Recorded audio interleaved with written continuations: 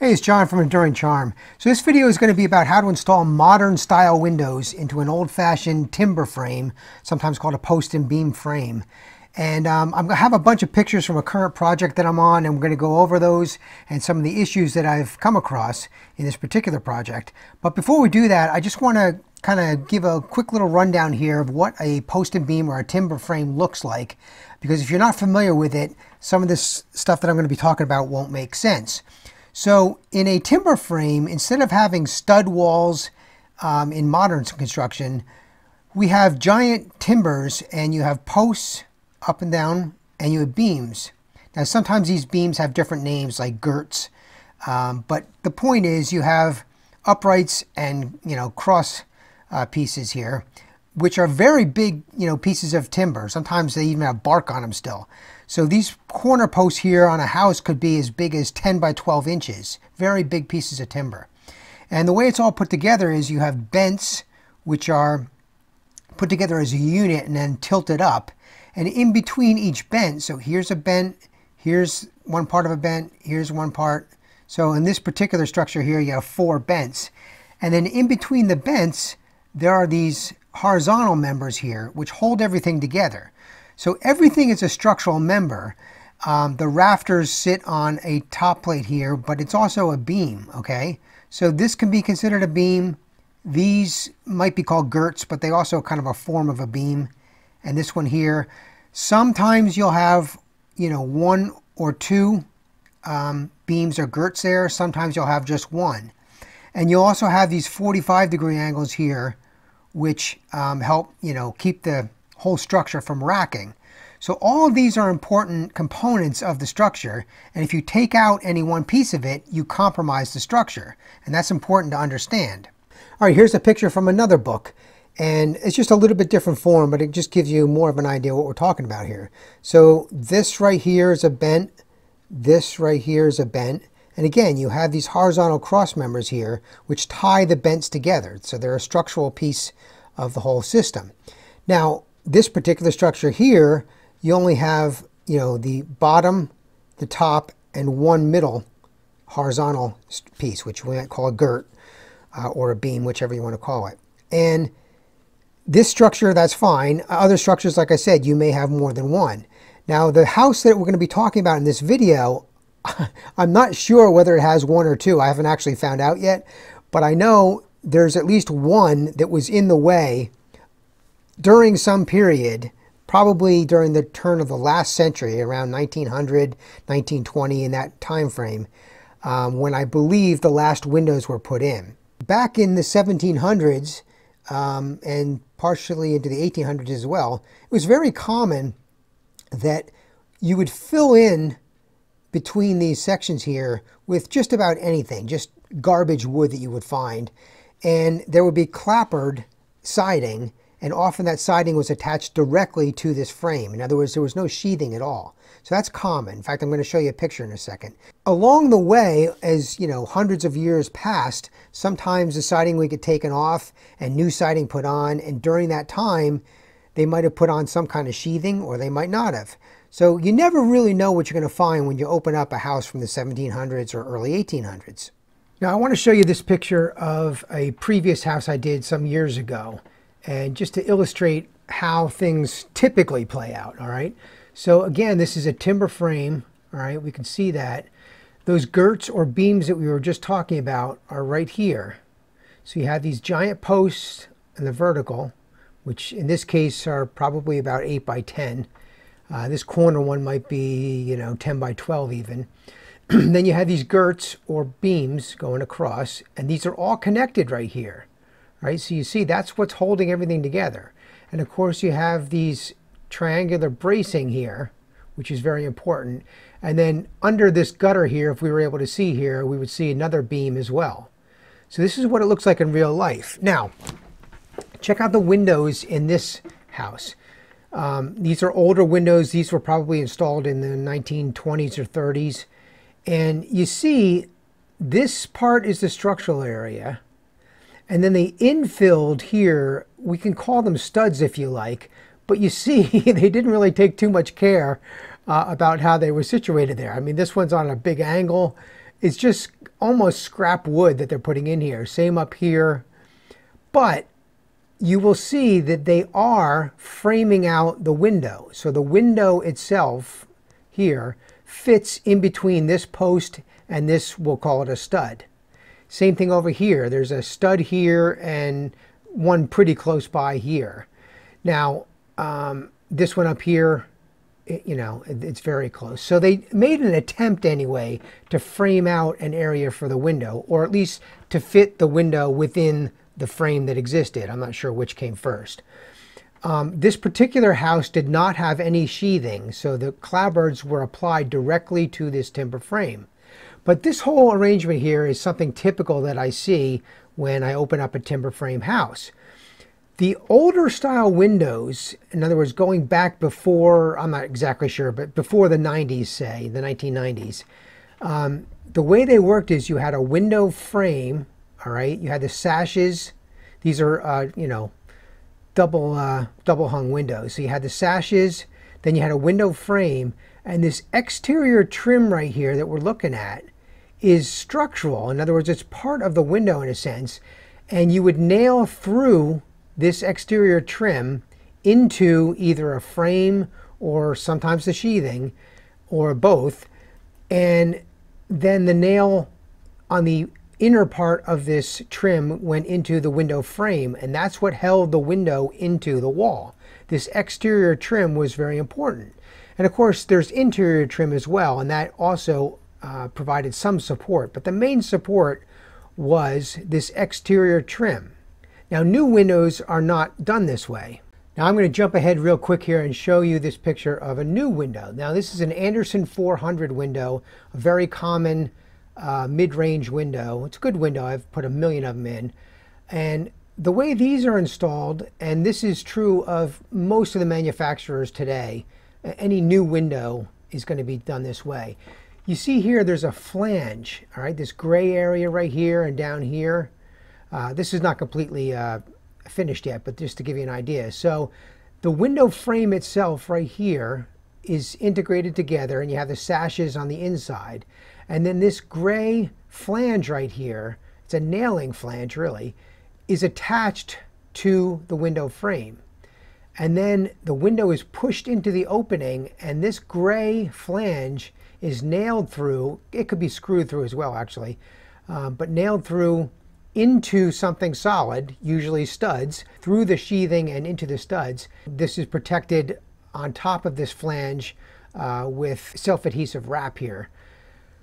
So this is a different style and in order to use a newer window like this in an old house you have to make sure you have a frame or something to nail into and it can't just be sheathing it's got to be something solid otherwise this is you know it's not going to last too long so this is one major issue with putting new windows into an older house is that you have a different style of construction. This nailing flange didn't exist back in the day. So the way they did things in the old days is just not going to work when you're installing a new window like this. All right, so with all that background, um, now let's get to the actual job that I want to talk about here. Now, what you're looking at here is what I found when I first got there. So um, this is a 1700s house. I'm not sure exactly when, but it's a post and beam timber frame, um, clapboard siding. And at this point, I didn't really know if there was any sheathing underneath or what was underneath. I didn't really know anything, but this is what I saw. The windows were completely rotted. And you see, this is the old style window. So there's a, a wide piece of trim right here. Here's a nail that's going into something, we don't know yet what. And another nail here that goes into the window frame. And this is exactly what I'm talking about. The trim itself is structural, and that's what holds the window in. But as you can see here, the window sill on the bottom here is completely rotted away. Um, and what had happened, I could realize right away, was that these windows were put in originally, you know, quite some time ago. I later found out it was, you know, turn of the last century in that period. And then at some point, um, the sashes must have rotted or you know, become loose or whatever. And they put an insert and this triple track here. This is a, a just a storm window. So they put a insert on the inside and a storm window um, into the original frame. So they took out the original sashes, took out the guts of it, if you will, and installed this stuff into the original frames. Well, this stuff, you know, only lasted so long, and the original frames have rotted. Uh, and in fact, this is replacement trim, which is also rotted. So it, at this point, there was really nothing left. This all had to come out, uh, and I had to take it apart. And new windows were ordered, the Andersen 400s, but I had to figure out a way to get them installed. Of course, first thing I did was a lead test because I, you know, suspected it could be lead paint. As it turns out, it was not. Now, in taking some of the clapboards off uh, just to get the old windows out, what I found was there's um, sheathing, okay, and this is like beadboard put horizontally, which is a little bit odd. Uh, I can't say I see that very often, uh, but it's there. So it's three quarter inch thick, and they had put newspaper as a kind of air barrier, I guess. Uh, it's a little weird and it didn't work very well, but uh, that's what they did. The good thing though was um, I was able to get some of these newspapers out and I could date um, the time period where they last did this clapboard siding and probably the windows as well. So all the newspapers that I found were in the November December timeframe of 1913. And in fact, some of the headlines were pretty interesting. But this allowed me to date uh, the time that the last work was done on the siding and the windows. Now let's deconstruct what I found once I got the windows out. Um, there's a lot to absorb here, so let me try to go through it with you. So what we're seeing here is the opening of the window. The window itself has been removed, the, the sashes, the window frame, everything, um, and the trim, of course. Um, but what I found was not encouraging. So I'll go from the outside to the in, and we'll talk about this. So what we have here first are the clapboards on the outside. So these are cedar clapboards uh, with like a five or four and a half inch exposure, which is common for the period. Then this layer right here um, is the sheathing. You can see more of it down here. And it's beadboard, it's three quarter inch beadboard, tongue and groove. And again, it's sort of an unusual choice for sheathing, but that's what they used. And then inside here, you're looking at part of the timber frame, all right? Here's a post right here. Now, the reason I'm pointing to this in the picture uh, is that, to my dismay, uh, they really caused quite a bit of damage to the timber frame. In fact, the timber frame is so compromised now that it's really not even acting as a timber frame anymore. What you're looking at here, remember in the beginning of this video, we talked about uh, the beams or the girts, um, you know, connecting um, the various parts of the frame. Well, that's what we're looking at right here.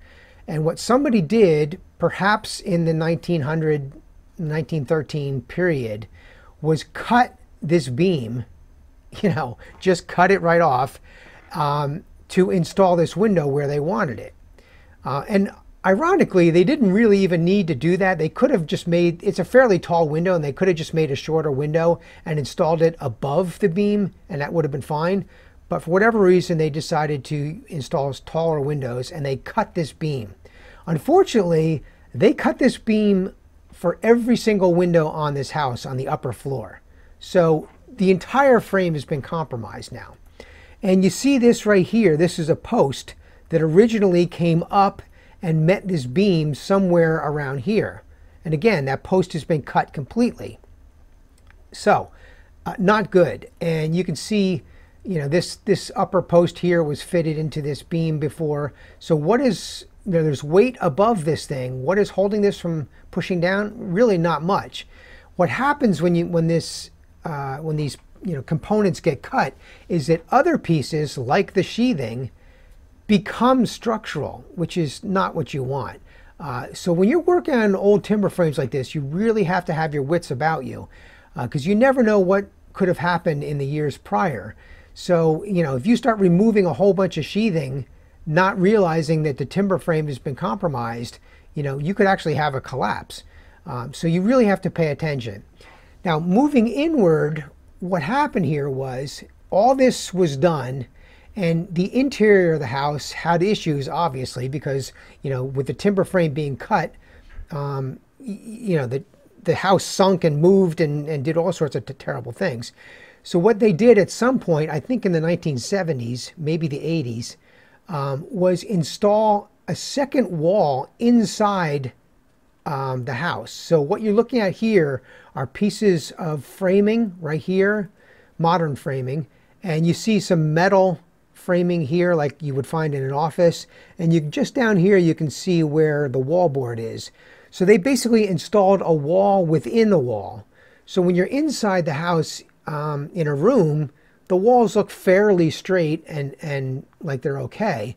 But what's going on in between that and the outside is a hot mess. Now in this picture, we're looking at the top of the window frame. So this area right here, again, has been cut. So there was, you know, a beam going all the way across here. So there's one down here on the bottom I just showed you. This is the top one. So there's really no structural integrity left of this timber frame. Now here's a different window, just partially disassembled.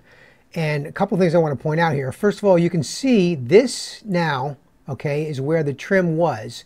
So that trim piece spanned quite a distance, um, almost five, well, a little, about five inches, I guess it was, from this window frame on the left here and little pieces of sheathing sticking out right here. In between there, there's nothing. Now you can see some wood there. That's actually the in, inside wall.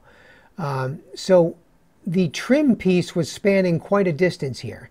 And because it wasn't nailed in, into anything except for the sheathing, you know, these, these windows were pretty rattly and loose. The other thing I want to point out here, check out the size of the trim, or, or actually the uh, sill piece right here on the left versus the size of it on the right. See how it's sticking out far more on the right and it's, you know, almost disappearing into the siding here on the left? Well, that's because this wall is way off. Uh, again, the timber frame was compromised, so it's just very wavy and, you know, it just goes in and out, in and out. So this, again, poses a big problem. In the past, with these old windows, this big beefy exterior trim here can span those distances and kind of make up um, for the problems. But for a new window, I can't do that. You know, these wall, this side and this side have to be relatively flat between the two or I'm not going to be able to get this new window installed. So this is a huge problem I have to overcome in order to install new windows. So in this picture you can see that's that same window. What I had to do was this area, this is the left side of the window. This area I had to cut all the nails for the siding, all the nails for the sheathing, and then I made a gap in here, a spacing, and inserted spacers to bring this wall out far enough so that I would have a relatively flat uh, plane between the left side and the right side. All right. So it's a lot of work involved. And again, you see here, this was a beam. This is a different window now. So this is a beam that was cut right in half to put the window in. Here's another post. Here's another angle of that same window. So this, this gap goes all the way down uh, to this area and I had to put in, insert spacers here. Notice that this is hand hewn frame. This is oak um, so this is legitimately old. This is 1700s for sure. Um, and another thing I want to mention is, look at this cable, this electrical cable going right across here. Uh, they just inserted it in between this new wall that they made here and the old frame. So once again, you got to have your wits about you because if you're in here hacking about cutting the old work out, you could easily cut right through this electric. So what do we do about this little problem here? I need some kind of frame in order to install the new windows. And there's really not much to attach new work to. And this is a problem that, you know, you're not really going to solve. Uh, there's not enough budget or anywhere near enough budget to completely strip off all of this sheathing and the siding and to install framing over the entire thing, fix the timber frame, get everything perfect and put it all together. That would be a huge budget. Uh, it's just not there. So in order to make this work, I have to do the best I can um, with the money they have and make this work somehow. So it's really a matter of each window, you got to find something to attach to. Typically, I find something on the bottom first. Uh, in this case, it looks like I, I, attached to a post here, and I think there was a post on the other side. Uh, and then you can start with uprights and, and kind of get a frame together. And then there's going to, in this case, there's sheathing that's going to go on top of this. But you have to start somewhere and find something solid to attach to. Looking up now, you know, you see, so these uprights come up. I was able to put something across here. So in this case, you know, I found something on the bottom to attach to. I found something on the sides I could attach to. Um, and you know I have an, a cross piece here, and then there just needs to be sheathing that brings out uh, that comes out to the area of the old sheathing. Uh, so it's just a lot of work to hand fit everything. You see this inside wall right here, which is a separate matter. Um, I actually had to cut that as well, but that's a different issue with the interior trim. But the first thing you got to do is get something on the outside that's solid. Here's another example. Um, it may look a little funny in the picture, but the plane of this she old sheathing and this new, I'll call it a stud, um, is actually the same. So I did not necessarily apply sheathing to, you know, this stud or whatever we want, if it's framing, whatever we want to call it. Um, some cases I did, some cases I didn't. It depended on the circumstances. If I had a wide gap here, then I, I may have chosen to use sheathing. If I didn't, I may not, and I may just bring this 2 by right flush with the old uh, sheathing. And this is going to get covered with self-adhesive flashing. Now in this picture you see once you get the framing somewhat situated, um, in this case I did use sheathing. Uh, this bottom area was pretty rotted so I had to replace that anyway. So this side and this side are flush now. And, and I just try to make this side and this side in the same plane as much as I can because again these new windows they're not going to tolerate being out of plane. It's just not going to work. All right, once you got the framing situated, then it's a matter of applying the self-adhesive wrap.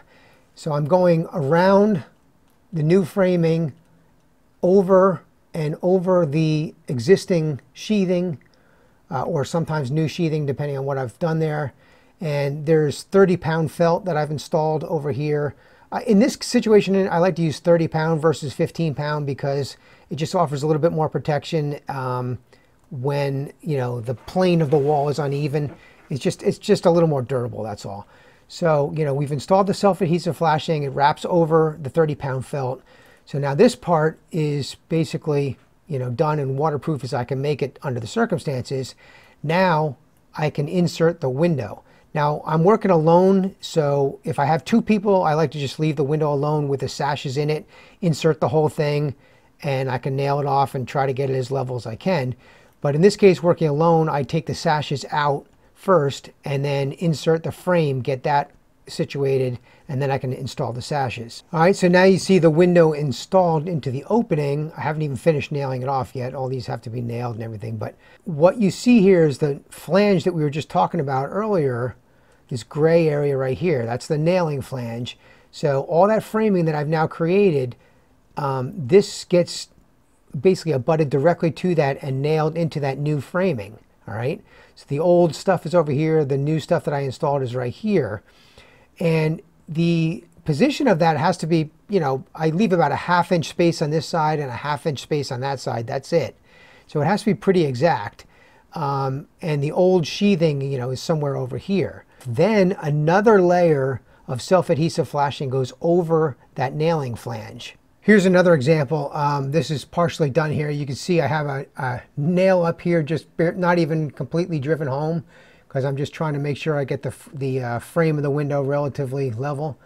Um, so nothing's nailed off yet. And in this case, there's one sash in there, but the second sash is not yet installed. So this is kind of midway, but you can see how it all works here. It's sitting on top of that self-adhesive wrap once this gets nailed off again, we'll put the second layer on. In this shot, you can see uh, how it works on the top here. So the, you know, the window is in. Um, here, this gray area right here is the nailing flange. You can see there is self-adhesive wrap applied over that nailing flange now. And then the 30 pound felt goes over the self-adhesive flashing so that any water that gets in here, you know, will come down and it will have really nowhere to go. There's still um, there's other pieces that go on top. The trim goes on top of this, and then there's a piece of flashing that goes on top of this as well. That's not shown in this picture here.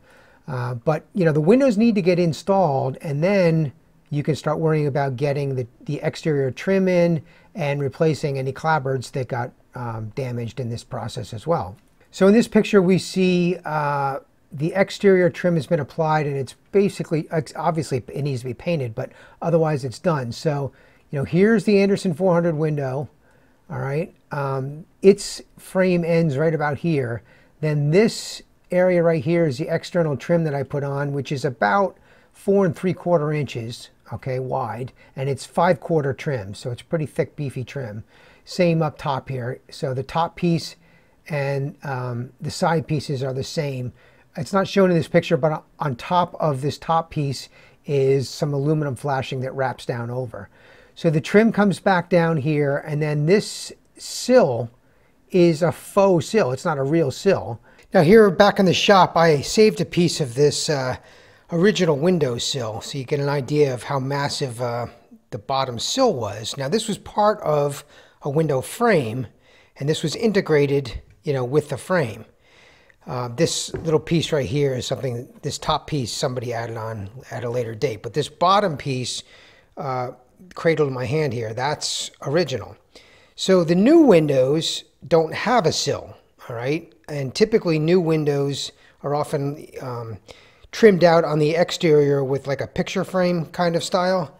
In other words, um, you know, all four sides of the trim are identical. It doesn't really have a sill, but that's not what we're after on this house. We want to make it look, you know, similar to what it did before. So what I've had to do is create kind of a faux sill um, out of, I used pressure treated and I used four by six, which is all I could get right now, uh, four by six pieces of wood that I bought, uh, pressure treated posts basically is what they are and cut them down to mimic, you know, what the original sill looks like. So this gets applied to the exterior on the bottom, and then the new trim will come down to this on the side here. Let me show you this window actually. So this, you'll remember uh, earlier in the video, there was one window that had the left side was very different from the right side. And remember, the uh, sill was you know very tight to the siding here and out in the open here. Well, this is how it got corrected. So on this side now, I mean, this sill looks even right across here. And that's because I took the time over here to cut all those nails, shim out the sheathing and the siding so that this plane and this plane were relatively equal.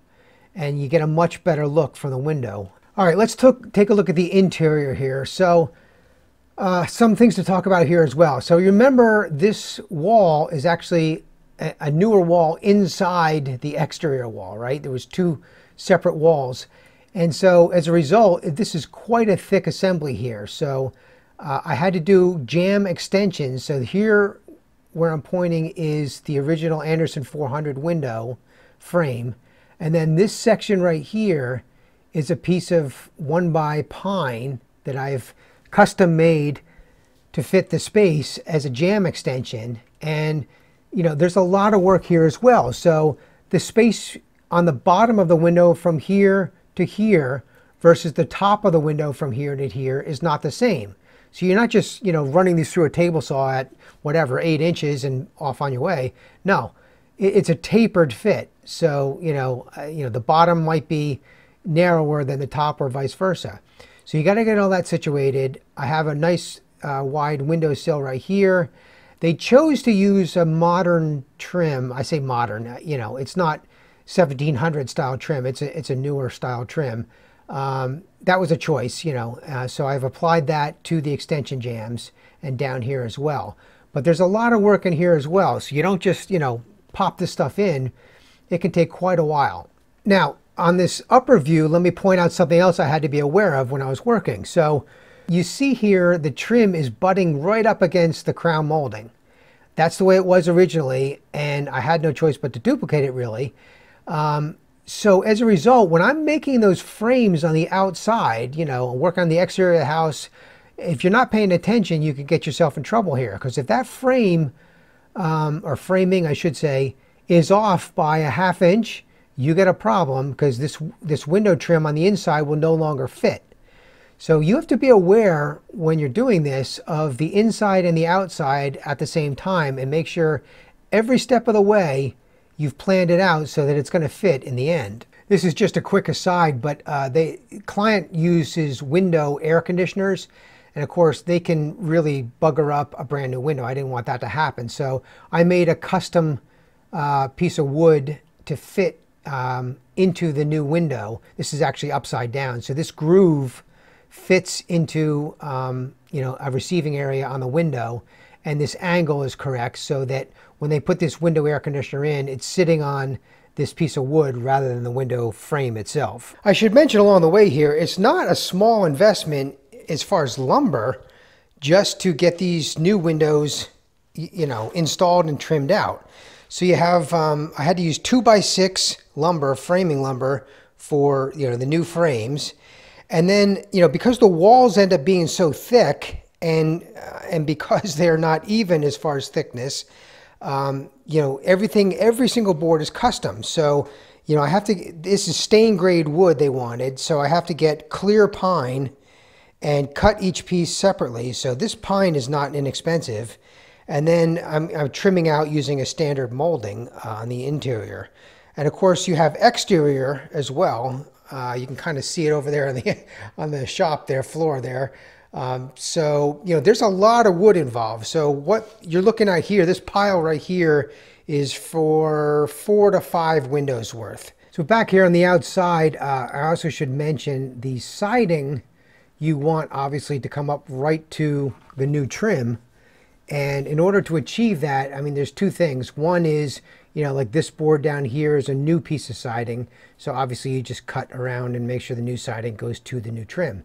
But for the old siding, existing siding, the way this was achieved was that when I placed the window opening, my new opening, I placed it in a way that I knew the new trim would be wide enough to go past the previous stopping point of the siding. So that means uh, after I get the window in and I start to install this new trim, I will cut a line, a straight line down the siding here to accommodate the new trim and that way it gets an exact fit. So anyway, this is the what it looks like all done. Uh, obviously there's more work to be done on the exterior of this house, probably some siding to get replaced and maybe some trim to get replaced, whatever, and then of course painting the whole thing. But it can be accomplished to install new style windows in an old timber frame, but it is a lot of work and you got to be prepared that there's going to be some compromises and there's going to be a lot of a lot of money that has to get spent in order to get all this accomplished.